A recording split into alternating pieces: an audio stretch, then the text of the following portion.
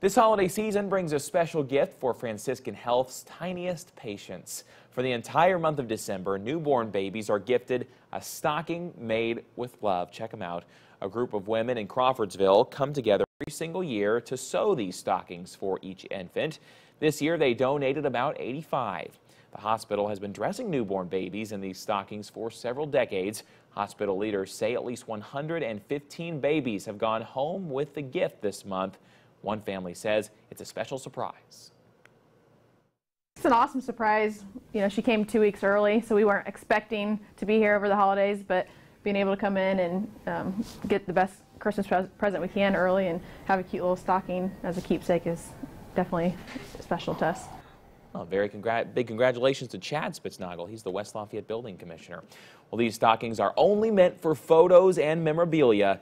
Nurses say it can be a safe sleep issue if the stockings are used outside of its purpose.